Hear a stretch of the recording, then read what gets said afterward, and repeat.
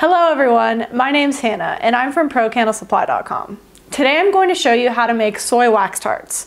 These wax tarts are a great addition to your candle line, especially for your friends or customers who don't burn candles. They're fast and easy to make at a very low cost. So let's go ahead and get started. First off, I'm going to show you everything you'll need to make these. You'll need wax tart clamshells. We carry these in two sizes on ProCandleSupply.com. They come in small and large.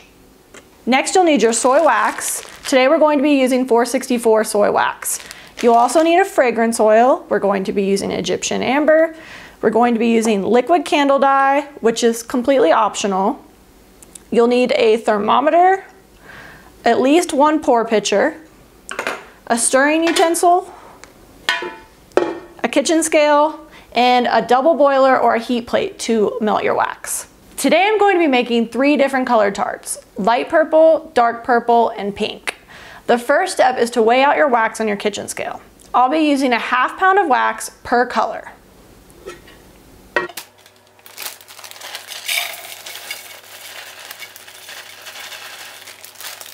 Then you're going to place your thermometer inside your pitcher and place on your hot plate or your double boiler. Now you need to melt your wax to 185 degrees Fahrenheit. It's important to reach 185 degrees Fahrenheit because this is the temperature that the fragrance oil correctly binds with the wax.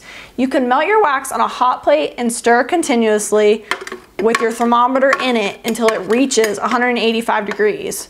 Or you can do the same thing with your pitcher inside of a double boiler. So now that you're done melting your wax, remove it from its heat source and now you're ready to add your fragrance oil. You can see here I have three pitchers in front of me. Each has a half pound of melted wax and 185 degrees Fahrenheit. I like to add the maximum amount of fragrance oil to my soy tarts, which is about 9%, so that they smell very strong. You can use less if you want to, but today we're going to be using 9%. So if we want to use 9%, that means you take the number of ounces of wax that you're using by weight and multiply 0.09. And this will tell you how much fragrance oil you'll need. Since we're using a half pound of wax, which is 8 ounces by weight, you take 8 ounces times 0.09 to get 0.72 ounces of fragrances by weight. So I'm going to add my fragrance oil now.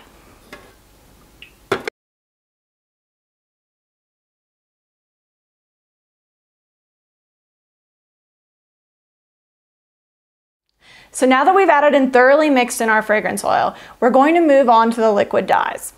Coloring your soy wax is completely optional and a personal preference. However, please note if you do choose to color your tarts, you should always add your fragrance oil before your dye because some fragrance oil can slightly change the color of your colors. Like I said earlier, I'm going to be making three different color tarts, light purple, dark purple, and pink. With all our liquid candle dyes on ProCandleSupply.com, you can use the same color to make different shades by adding more or less of the dye. I'll demonstrate that with the purple dye.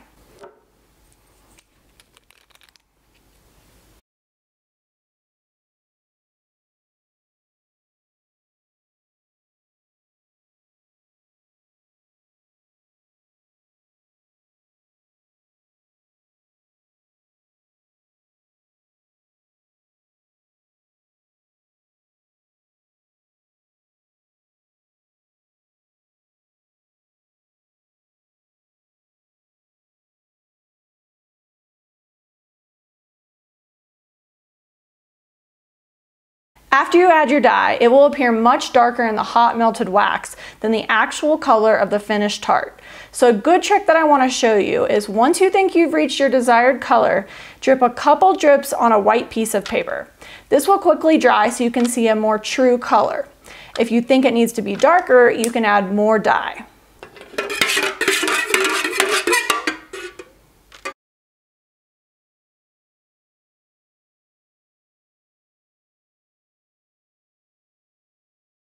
Now I'm going to pour my tarts. I'll be back once they're cool.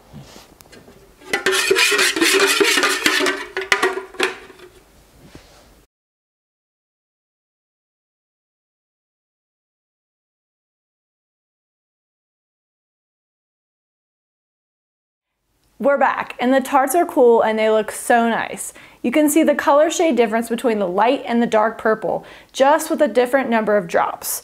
the light purple, and the dark purple. The light purple we used three drops and the dark purple we used eight drops.